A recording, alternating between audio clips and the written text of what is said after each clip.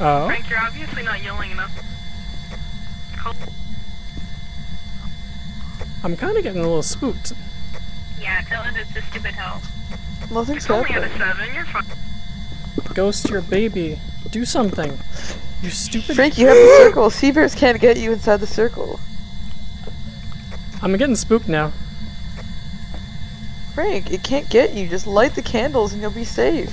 You have one job. You can't touch me, ghost. I'm in a circle. you Fucking bitch! Fuck off! You asshole! What the fuck?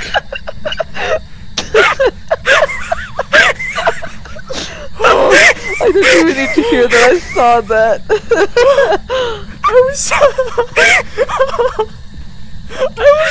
I was just looking at my candles and I look up and there's this legs. I saw his arms flail upwards in pen. You fucking dick! You, why did you do that? oh my god. I, t- I took a. I, I took a picture of her. Just out of a terrified reflex. I don't know if you heard, but he took a picture of. You took a picture of Code or the ghost? Me. I walked up behind him.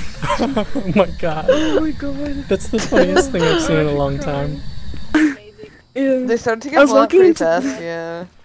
Ah. I was walking into the house and I could tell when Frank would Just, turn sights because I could see his little light.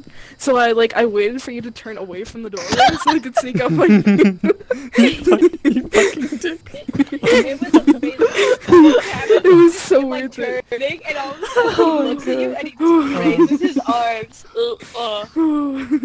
Yeah, like we, we couldn't hear it, so we just see him turn around.